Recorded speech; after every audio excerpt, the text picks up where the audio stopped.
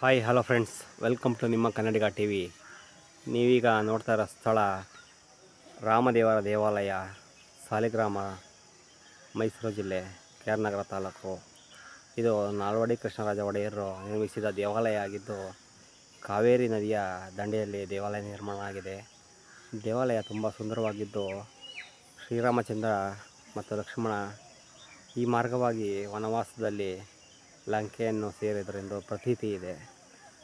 ಸೀತಾದೇವಿ ಅಪಹರಣ ಆದ ನಂತರ ಈ ಮಾರ್ಗದಿಂದ ಅವರು ಶ್ರೀಲಂಕಾಗೆ ತಲುಪಿದ್ರು ಅಂತ ಪ್ರತೀತಿ ಇದೆ. ದಯವಿಟ್ಟು ಈ ಕ್ಷೇತ್ರನ ತಾವು ಸಾಧ್ಯ ಆದರೆ ಭೇಟಿ ನೀಡಬೇಕು. ನೋಡಿ, ಈ ಕ್ಷೇತ್ರ ತುಂಬ ಸುಂದರವಾಗಿದ್ದು ಕಾವೇರಿ ನದಿ ತೀರದಲ್ಲಿ ಕ್ಷೇತ್ರ ಇದೆ. ಈ ಕ್ಷೇತ್ರದ ಜೀರ್ಣೋದ್ಧಾರನ ನಲವಳ್ಳಿ ಕೃಷ್ಣರಾಜ ಒಡೆಯರ್ ಅವರು ಮಾಡಿದ್ದಾರೆ. ತುಂಬ ಅದ್ಭುತವಾದಂಥ ಸ್ಥಳ ಆಗಿದೆ ಇದು. ನೋಡಿ ಶ್ರೀರಾಮಚಂದ್ರನ ದುರ್ನರ ಪ್ರಭು ವೀರಾಂಜನೇಯರ ಮೂರ್ತಿ ಇಲ್ಲಿದೆ. ಮನಮೋಹಕವಾದ ಮೂರ್ತಿ ಇದಾಗಿದ್ದು, ಈ ಕ್ಷೇತ್ರಕ್ಕೆ ಬರುವಂಥ ಭಕ್ತರು ಇಲ್ಲಿ ಬೇಡ್ಕೊಂಡಿದ್ದು ಸುಳ್ಳಾಗಿಲ್ಲ. ನೋಡಿ ಸ್ನೇಹಿತರೆ, ಮನಮೋಹಕವಾದ ಮೂರ್ತಿ ಇದಾಗಿದೆ. ಕಾವಿ ಕಾವೇರಿ ತೀರದಲ್ಲಿ ಈ ಕ್ಷೇತ್ರ ಇದ್ದು, ಕ್ಷೇತ್ರ ತುಂಬ ಅದ್ಭುತವಾಗಿದೆ ಸ್ನೇಹಿತರೆ. ನೋಡಿ ಸ್ನೇಹಿತರೆ, ರಾಮದೇವರ ದೇವಸ್ಥಾನ. ದೇವಾಲಯದ ಸುತ್ತ ಮನಮೋಹಕವಾದ ಸ್ಥಳಗಳಿದೆ. ನೋಡಿ ಇದು ವೀಕ್ಷಣಾ ಗೋಪುರ ಕೂಡ ನಿರ್ಮಿಸಿದ್ದಾರೆ ಇಲ್ಲಿ. ವೀಕ್ಷಣಾ ಗೋಪುರದಿಂದ ಸುತ್ತ ಇರೋ ಪ್ರ- ಪ್ರಕೃತಿ ಸೌಂದರ್ಯನ ಸವಿಬಹುದು ತುಂಬ ಮನಮೋಹಕವಾದ ಕಾವೇರಿ ನದಿ ತೀರ ಇದು. ನೋಡಿ ಸ್ನೇಹಿತರೆ, ಕಾವೇರಿ ತಾಯಿ ಬೋರ್ಗಿರೋದು ಹರಿಯುವ ದೃಶ್ಯ.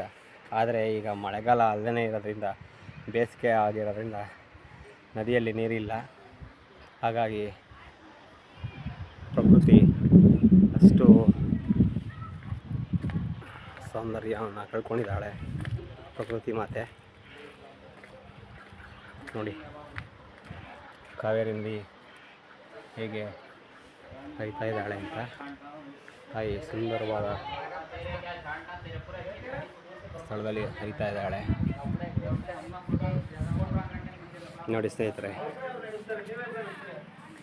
ದೇವಾಲಯ ನಾಲ್ವಡಿ ಕೃಷ್ಣರಾಜ ಒಡೆಯರ್ ಅವರ ಕಾಲದಲ್ಲಿ ನಿರ್ಮಾಣ ಆಗಿದ್ದು ಪ್ರತಿದಿನ ಸಾವಿರಾರು ಜನ ಭಕ್ತರು ಬರ್ತಾರೆ. ಬೆಳಿಗ್ಗೆ ಆರು ಗಂಟೆಯಿಂದ ಹತ್ತು ಗಂಟೆವರೆಗೆ ಪೂಜೆ ಇರುತ್ತೆ. ಮತ್ತು ಮಧ್ಯಾಹ್ನ ನಾಲ್ಕು ಗಂಟೆಯಿಂದ ರಾತ್ರಿ ಏಳು ಗಂಟೆವರೆಗೆ ಪೂಜೆ ಇರುತ್ತೆ ಸ್ನೇಹಿತರೆ.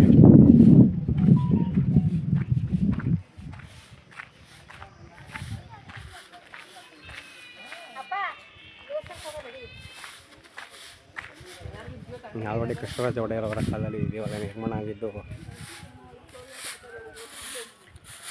ದೇವಾಲಯದ ಸೌಂದರ್ಯ ಸ್ವಲ್ಪವೂ ಹಾಳಾಗಿಲ್ಲ. ದೇವಾಲಯದ ಹೊರಭಾಗದಲ್ಲಿ ಜಯ ಮತ್ತು ವಿಜಯರ ವಿಗ್ರಹಗಳಿದ್ದಾವೆ. ರಾಮನ ದೂತನಾದ ಹನುಮಂತನ ಸೈನ್ಯ ಕೂಡ ಇಲ್ಲಿದೆ. ನೋಡಿ ಸ್ನೇಹಿತರೆ,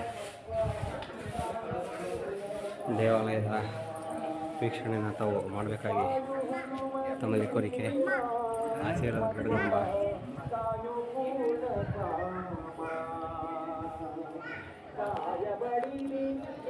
ಈ ಕ್ಷೇತ್ರದಲ್ಲಿ ರಾಮಾನುಜಾಚಾರ್ಯರು ನೆಲೆಸಿದ್ರು. ಹಾಗಾಗಿ ಅವರ ವಿಗ್ರಹ ಕೂಡ ಇಲ್ಲಿ ಪ್ರತಿಷ್ಠಾಪಿಸಿದ್ದಾರೆ.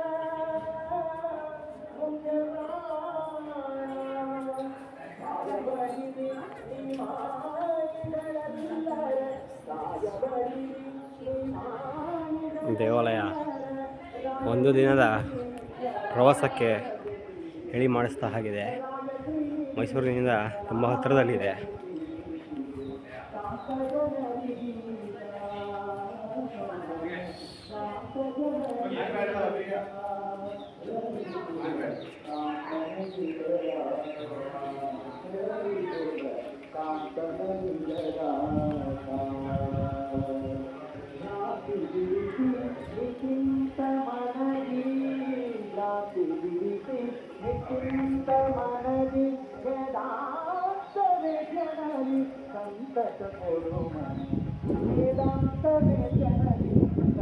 ದೇವಾಲಯ ತಂಗಾಳಿ ಬೀಸ್ತಾ ಇದೆ ಸ್ನೇಹಿತರೆ.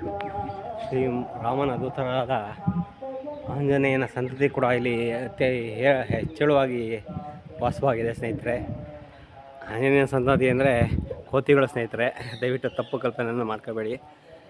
ನೋಡಿ, ದೇವಾಲಯ ಸುಂದರವಾಗಿದೆ. ಆದಷ್ಟು ಬೇಡಿ ಕೊಡೋ ಪ್ರಯತ್ನ ಮಾಡಿ ಸ್ನೇಹಿತರೆ. ದೇವಾಲಯ ಅತ್ಯದ್ಭುತವಾಗಿದೆ. ನಾವಡಿ ಕೃಷ್ಣರಾಜ ಒಡೆಯರ್ ಅವರು ದೇವಾಲಯದ ಜೀವನೋದ್ಧಾರ ಮಾಡಿದ್ದಾರೆ. ಕೃಷ್ಣರಾಜ ಒಡೆಯರ್ ಅವರ ಕಾಲದಲ್ಲಿ ನಿರ್ಮಾಣ ಆಗಿರೋ ದೇವಾಲಯ ಇದಾಗಿದೆ.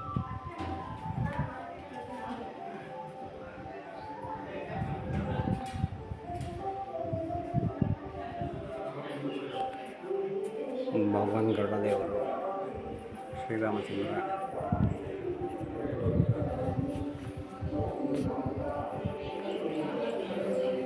ಒಳಭಾಗದಲ್ಲಿ ವಿಡಿಯೋ ಮಾಡಬಾರ್ದು ಅಂತ ಹೇಳಿದ್ದಾರೆ. ಹಾಗಾಗಿ ಸ್ವಲ್ಪ ಕಷ್ಟ ಇದೆ ಸ್ನೇಹಿತರೆ ಪ್ರಯತ್ನ ಮಾಡ್ತಾ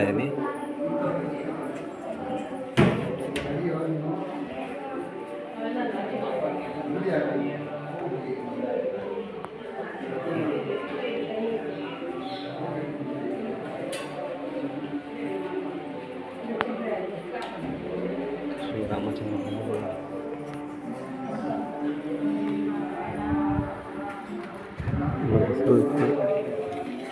ದರ್ಶನ ಮಾಡ್ತಾ ಇದ್ದೀನಿ ದೇವರನ್ನು. ಈಗ ಸ್ವಲ್ಪ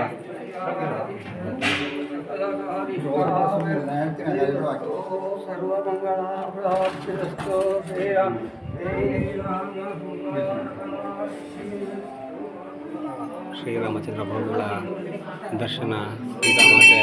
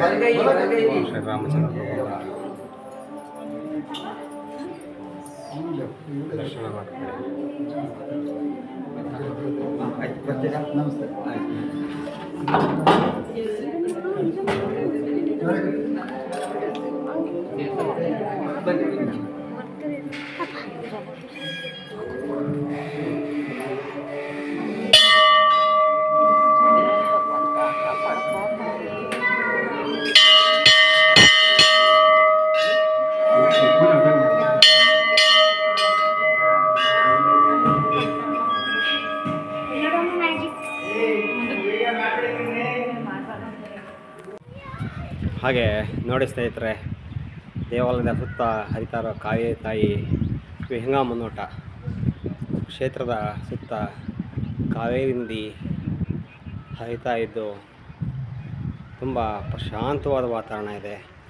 ಹಾಗೂ ಬರೋ ಭಕ್ತರಿಗೆ ಒಂದು ದಿನದ ಪ್ರವಾಸಕ್ಕೆ ಯಾವುದೇ ರೀತಿ ಕೊರತೆ ಆಗಲ್ಲ.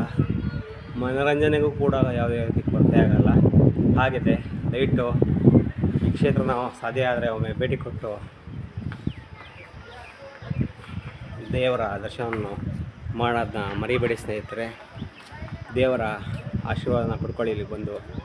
ಹಾಗೂ ನಮ್ಮ ಚಾನಲ್ಗೆ ಸಬ್ಸ್ಕ್ರೈಬ್ ಆಗಿ ಒಂದು ಬೆಲ್ ಬಟನ್ ಪ್ರೆಸ್ ಮಾಡಿ ಹಾಗೂ ಒಂದು ಲೈಕ್ ಕೊಡೋದನ್ನ ಮರಿಬೇಡಿ ಸ್ನೇಹಿತರೆ.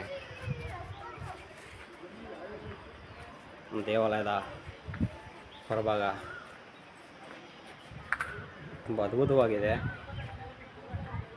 ನೀವು ಒಂದು ಕೊಡೋ ಒಂದು ಲೈಕಿಂದ ನನಗೆ ಮತ್ತೆ ಮುಂದಿನ ವೀಡಿಯೋಗಳನ್ನ ಮಾಡೋದಕ್ಕೆ ತುಂಬ ಆಸಕ್ತಿ ಇರುತ್ತೆ ಸ್ನೇಹಿತರೆ. ದಯವಿಟ್ಟು ಮರಿಬೇಡಿ ಸ್ನೇಹಿತರೆ.